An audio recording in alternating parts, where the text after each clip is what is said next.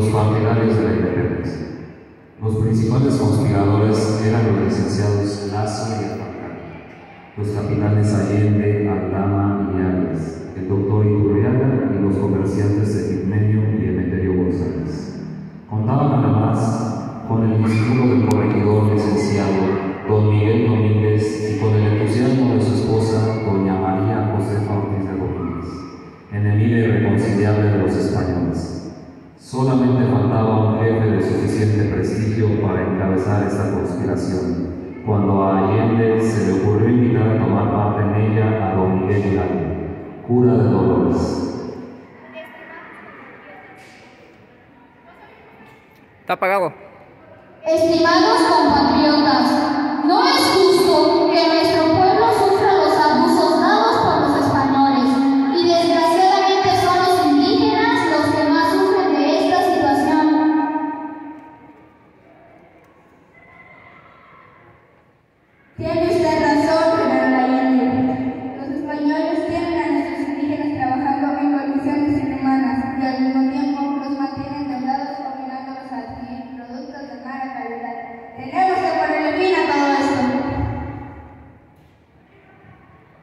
Gracias.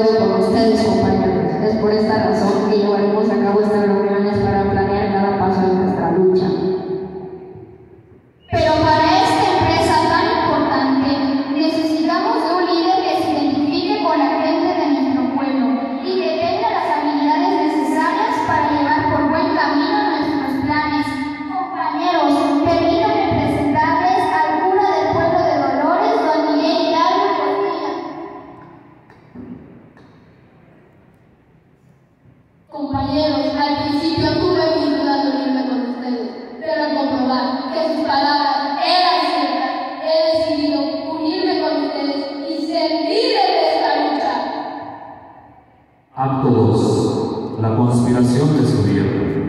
En septiembre de 1810, los trabajos de los conspiradores estaban tan adelantados que se acordó que el movimiento independentista estallara el 11 de octubre, simultáneamente en varios lugares. Pero los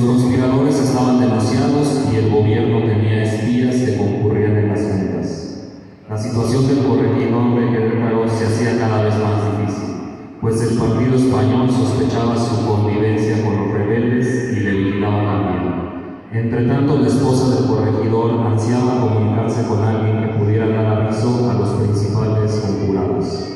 El alcalde de la cárcel, Ignacio Pérez,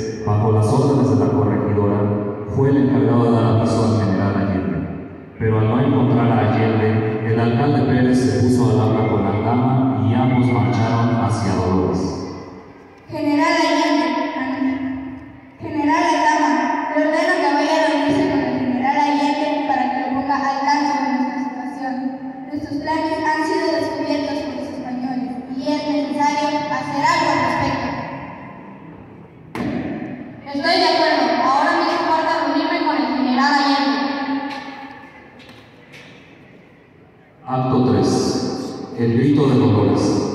Al llegar al pueblo de Dolores, tocaron en la casa cural y salió Allende a recibirlos, haciéndoles pasar a la recámara del cura Hidalgo a discutir el partido que debiera tomarse.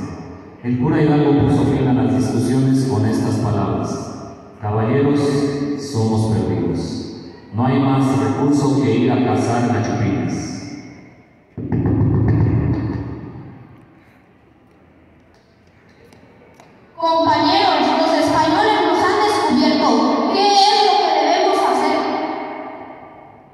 Al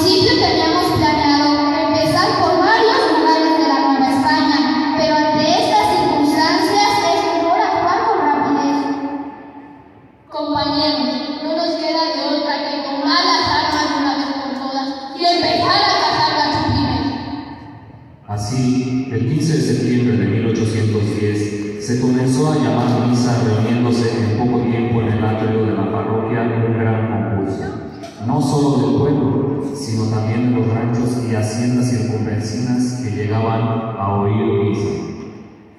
Okay, ahí maestro.